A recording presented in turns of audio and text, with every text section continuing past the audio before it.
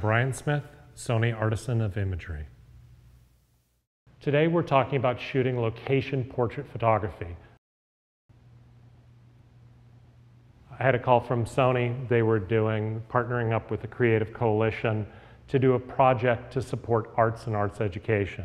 Over the, those three days, we photographed 60 actors and actresses, and then they would write their handwritten thoughts about what the arts means to them in a journal. And I think it was the combination of those two that they were forced to kind of think about what the arts means to them, that everybody came in with a really great attitude because just as, as if you're a photographer, you're very passionate about what you do, they're passionate about the arts. And one of the things that happened would be a lot of people would be taken back to that, that moment that they saw their first Broadway play or they were in their first high school musical.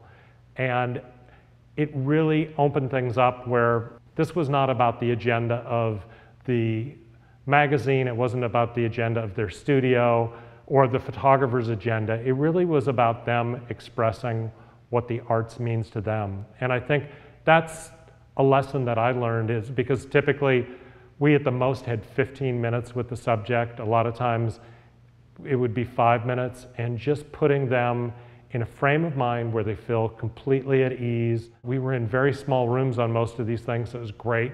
You know, there was no big team of people in the background.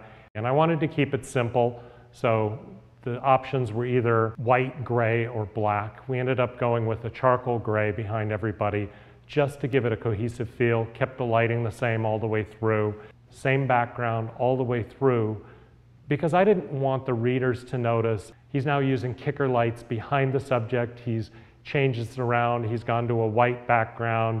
The light is now harsh.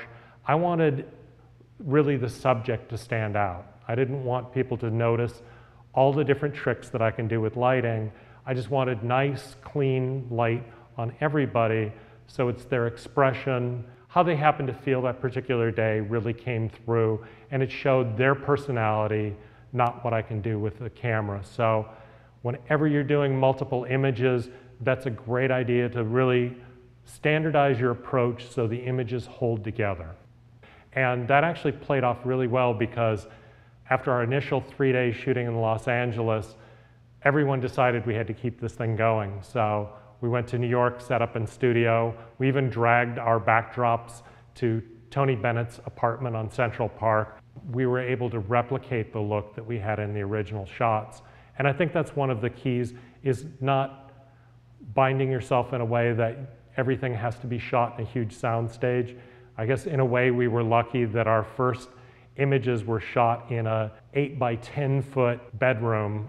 After that, everything was a piece of cake because we knew, like even shooting in a hotel suite, we could move the bed out of the way and we had enough space to replicate it. So sometimes keeping your setup very simple and minimalistic makes it that much easier to match images later in the future.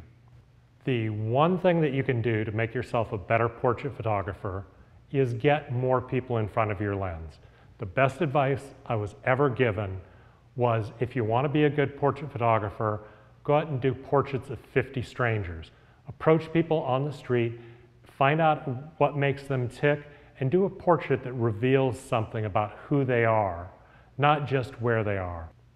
So find a subject, pick a great background, and get out there and take some great location portraits.